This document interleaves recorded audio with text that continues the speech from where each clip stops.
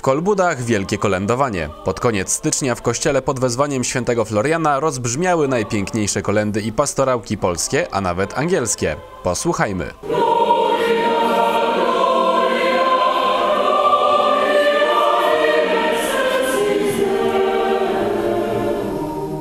Muzyczne doznania zapewnił Akademicki Chór Uniwersytetu Gdańskiego wspólnie z Bogdanem Kułakowskim na fortepianie. Za batutą stanął Marcin Tomczak. To duże wydarzenie. Zresztą to było widać A po pełnym kościele, B po zachwycie e, ludzi.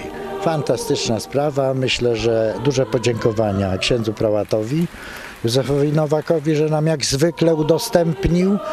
No i chórowi. To jednak klasa sama w sobie. Słychać, widać, czuć tylko oby częściej.